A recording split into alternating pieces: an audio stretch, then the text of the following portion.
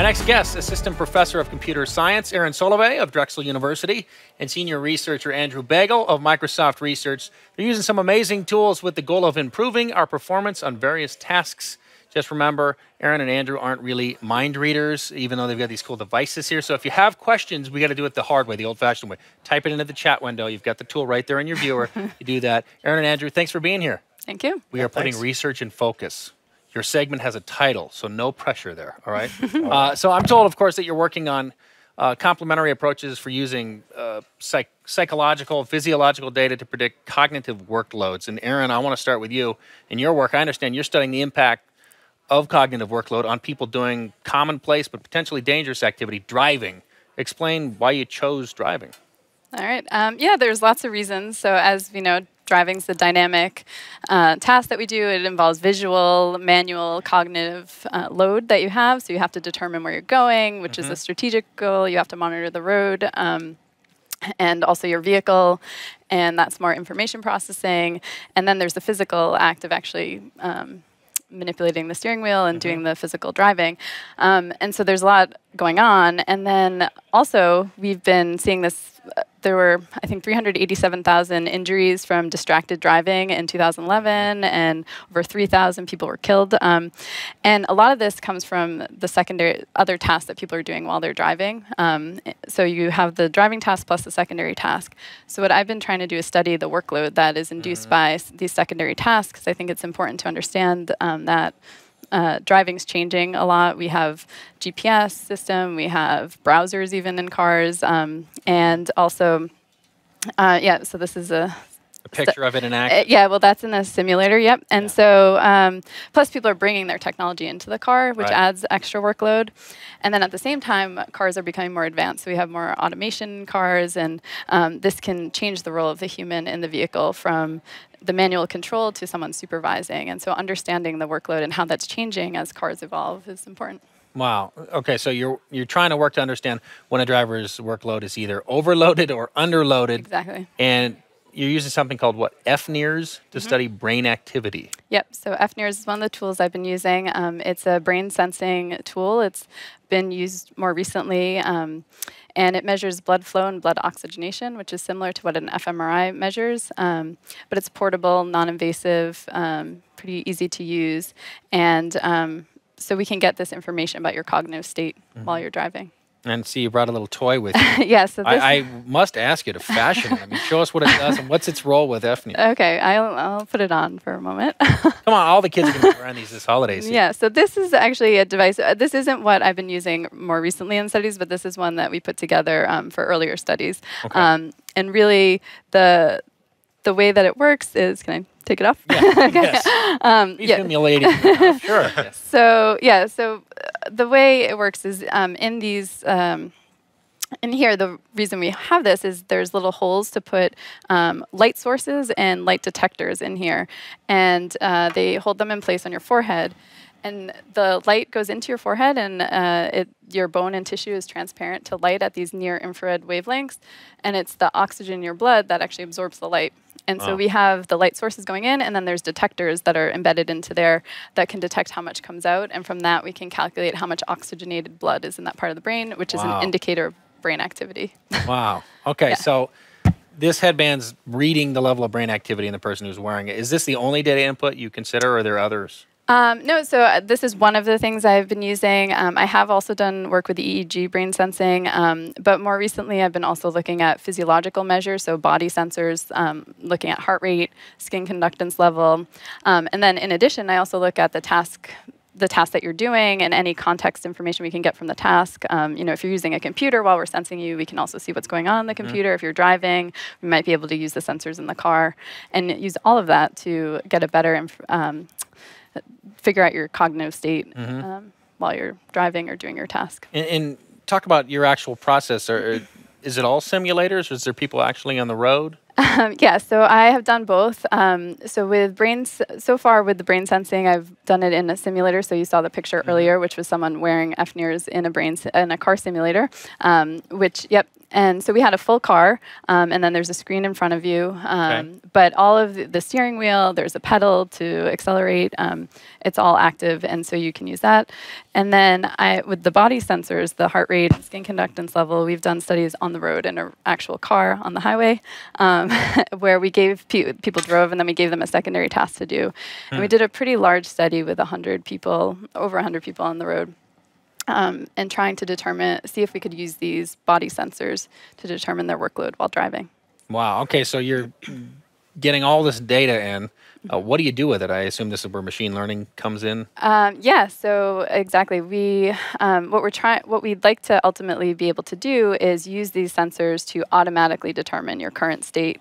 Um, and so to do that, one of the tools we use is machine learning. Um, but in order to do that, we need to build up big data sets with the brain and physiological data.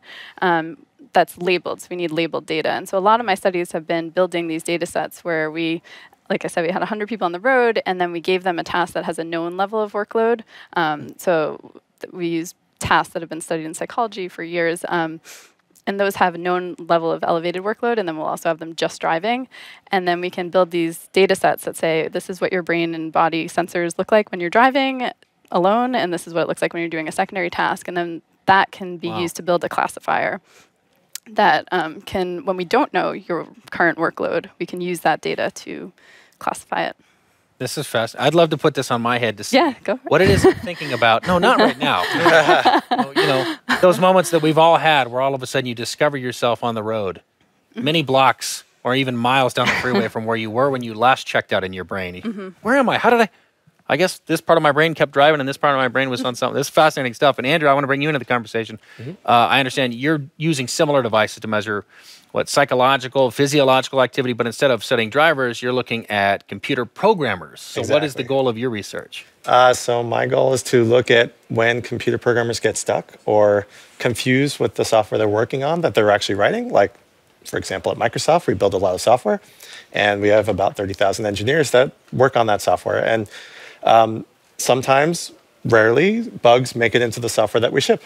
and those bugs have to get fixed, and that's expensive. So we, um, with my research, what I'm looking for is a way to detect when the programmer is about to cause a bug and stop them before that bug can enter the code. Wow. And what my theory is basically that I can start using some of these devices, and actually you can see some of them here, um, Yeah, I got to get one to, of those. By to the way. figure out like whether the programmer is confused or frustrated with what they're doing. Maybe that's not the time that they should be actually typing code. Hmm. Maybe they should go ask a question of somebody else. Okay, so are you, are you actually measuring the same kind of physiological, mental responses as? So I'm using a slightly different set of sensors. So the one on my wrist here, this is a Shimmer 3 uh, GSR plus sensor, which is basically measuring how, how much sweat I'm putting out on my skin, which is a measure of arousal, how much I'm paying attention to what I'm doing. right. Uh, so if it's a low signal, I'm kind of probably just came back from lunch and not really paying attention. Maybe that's not a good time to be coding. Um, we also have this sensor. Um, this is a Necomimi um, set of cat ears. Um, over here on the front is an EEG sensor. And the EEG sensor is placed against the forehead, where it's basically measuring the basically one part of the prefrontal cortex on the left, and then there's a little ground that goes in your ear. And nobody will even know you're wearing it. And then the ears kind of like flick back and in. forth to show that basically like the ears, if I'm really like paying attention, the ears will pop up. And then if I'm super calm, like they kind of relax and the ears go down. wow. This is built for the Japanese market. So it's a I could cute. certainly see the social value of, Yeah. of, hey, that person likes we me. tend Nope. to use the ones without the ears so we can like plop the ears off. Actually, you could buy new ears for it um, if Uh-oh. you like to be fashionable. Accessory business. Which is kind of cool. So we've got those kind of ears. And then what we also do, um, uh, we've also been using eye tracking. So this is where the computer itself is projecting infrared light at your eyes and trying to figure out where your pupil is. And then it knows how far you are from the screen and using geometry, you can figure out what exactly are you looking at on the monitor. Wow. So when you're programming, we want to start, and, and you get confused, we want to find out, oh, it was that class or that method over there that got you confused, or that was the trigger for you getting Wow. confused. I know we actually have some video of, of all of this in action. Mm-hmm. We're going to roll that video and we can take a look here. Great. So what are we seeing here? This is, must be the eye tracking. This is a Visual Studio programming environment. The little red ball um, that you're following is where the subject is actually looking on the screen as they look at that code. Yeah. And we've asked them to just read the code and um, there's a question at the bottom of the code that it draws two rectangles, and they're asked if these two rectangles overlap. And um, if and now you can see this huge red dot. That means the person stared at that one spot on the Oh, screen wow. because that was particularly confusing or particularly difficult for that person. He's actually doing it multiple times before he starts reading the rest of the code. You can see a picture in picture of, of the subject in the bottom of the screen there. Um, and this particular thing actually was kind of difficult, um, just because it was sort of spatial relations for Wow. most people. It's just actually kind of difficult. So you're using machine learning algorithms to draw conclusions from these from all the data you're getting here. Yep. Explain the process of machine learning that you're employing. So um, we're trying to build a bunch of different classifiers to tell um, is the person experiencing difficulty? Did they feel that what they're doing is tough for them? So we had a whole lot of people come in, about 15 people come in and do eight different tasks. Um, each person took about an hour and a half to do it. While we were measuring their EEG, um, watching their eyes, also measuring um, this on my uh, the GSR device on my hand uh, to measure how attentive they are. And then we take all those signals into our machine learning environment. And what we were doing is uh, trying to predict um, three things. One was if we watch 14 people do this task and then we take the last person, can we predict as the person is working, is that task difficult for that person? It doesn't work that well. Um, what works better is if we say, well, we watched everybody else do this task. If we then watch a new person do this task, can we figure out what's going on? And then, Wow. in fact, we do really well in that kind of environment. Um, and uh, so we're trying different combinations of that to get a, a classifier that will actually run as the programmer is working. Where in real life, you don't know what the task is. Like the person is just supposed to be working on a bug or writing a new uh, feature for their program, and there's no beginning, there's no ending. It's just kind of like it's getting hard, it's getting easy. But when it does get more difficult, that's the point where we want to try to intervene in the programming environment and mm-hmm. do something to either make them pay more attention or maybe to get them to stop or slow down or maybe ask a question of somebody else. So you're studying, you know, programmers. You're looking at drivers. If we've stuck this on somebody driving who was trying to write code, would this just catch on fire? Is that what would pretty much happen? They would get stopped by the police. We have a big online audience joining us today, and one of them just wrote into you, Erin, says, "What type of secondary tasks did you analyze? You know, they want to know talking, changing Oh, music, texting." Yeah, this is that's a great good, question. Yeah, it's a good question. Um, so we've been using generally a lot of working memory tasks because we're thinking about someone who's driving and maybe trying to um, whether it, that's involved in having a conversation. It's also if you're trying to remember the direction somewhere.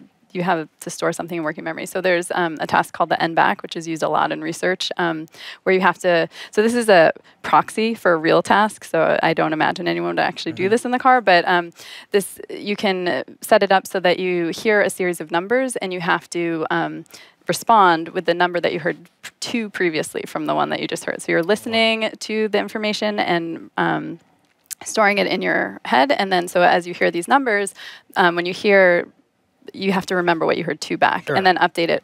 And so this can be this has been used in lots and lots of studies and this is really just to calibrate the system and say this is what a working memory task would look like. And it's not realistic for something someone would do, but we can then train a classifier using that that can then um, look at other tasks that you're doing and see if it looks similar to when you're doing that elevated cognitive task or not.